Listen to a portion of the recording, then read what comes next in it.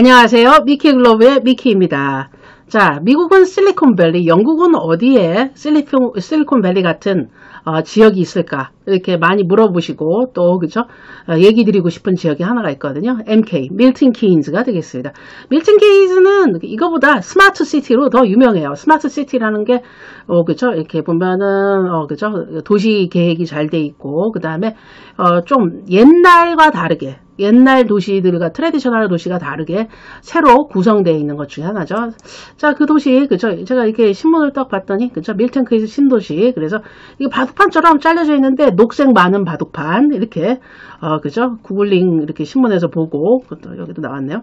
상당히 깨끗해요. 저도 한번 가봤는데, 깜짝 놀랄 정도예요. 진짜 깔끔하고 바둑판처럼 쫙쫙쫙 이렇게 돼 있어서 어, 도시 그저 도시 공부, 도시 설계 공부하시는 분들은 여기 가서 공부도 많이 하고 그런 걸로 많이 알려진 것 중에 하나고 지금은 녹색 도시로 이렇게 많이 이렇게 돼 있는 것 중에 하나고 어, 그렇게 돼 있는데 우리가 뭐 요 정도로 아는 게 밀턴 케인즈고 음, 저는 한번 가봤는데 어, 그죠? 음, 약간 일산 도시가 일산 같은 느낌이에요. 그 런던 근교에 있고 그 다음에 어 아, 제가 두 번 갔구나. 한 번은 의도적으로 딸기밭, 딸기 따로. 그래서 일산이라는 생각이 있나 봐요. 딸기가, 딸기밭 있는데.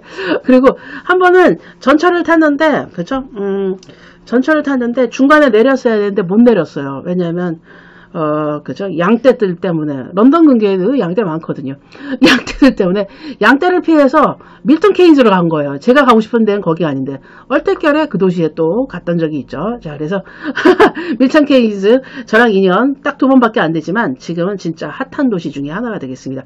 실질적으로 밀턴 케인즈가 이렇게, 어, 제가 실리콘밸리라고 얘기하는 것 중에 하나가, 지금 투자를 엄청나게 하는데, 거기에 중심이 있는 학교가 뭐냐면, 크란필드라는 대학이 있어요. 네, 우리나라에서는 별로 안 유명, 아, 그러니까 아는 사람만 유명해요. 아, 아는 분만 알아요. 이게 석사 과정이 중심이기 때문에 일반적으로 대학을 안 가, 대학교만 생각하시는 분들은 잘 모르고 뭐 유학원은 아예 뭐 잘 모르죠. 근데 크라운필드가 우리나라의 카이스트 같은 존재라고 생각하시면 되겠고요. 여기에서 석박사 과정이 어 되게 유명한 게 많아서 우리나라에서 여기 출신들 꽤 있으세요. 뭐 그죠. 군수 산업 쪽이나 뭐 그죠 비행기 쪽이 aerospace나 뭐 이런 쪽이 되게 유명한 걸로 제가 알고 있거든요. 근데 어, MK 구청이라는데 시청이네요. 밀튼 케인즈가 시청이니까 시청과 크란필드가 그죠 STEM 중심의 대학을 개발 중에 있다고 합니다. 그래서 어, 곧 그죠 대학이 나오면 어, 제일 핫하지 않을까 이렇게 생각이 드는데 어, 이게 어, 실제적으로 밀튼 케인즈가 그죠? 음, 임페리얼을 제칠 수 있을까? 제칠 수 있을까?